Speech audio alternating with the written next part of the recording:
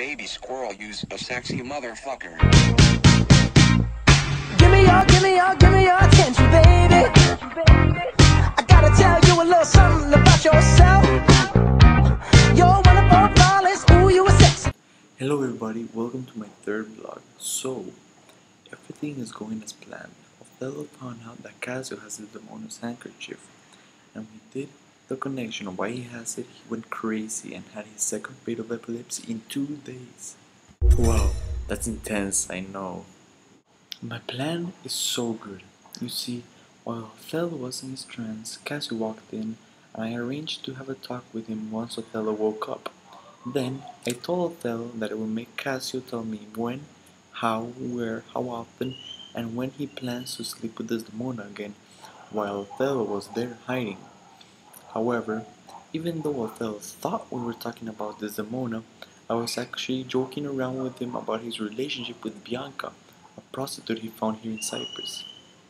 Then Bianca came in and she had the handkerchief in her hand, so that so that closed the deal for Othello and he started planning how to kill Desdemona. Crazy, right? I know.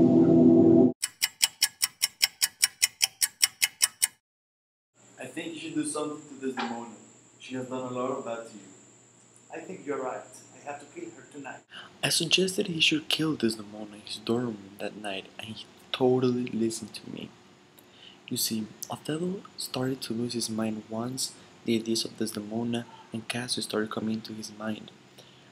For example, when Lodovico, a coach of the tournament, came in and told him that we could go home, Desdemona got really happy, but Othello hit her.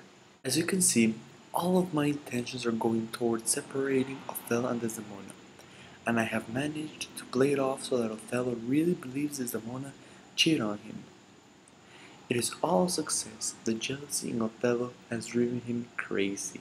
After all, jealousy in a person can change all his views of his life and impact his acts in so many ways.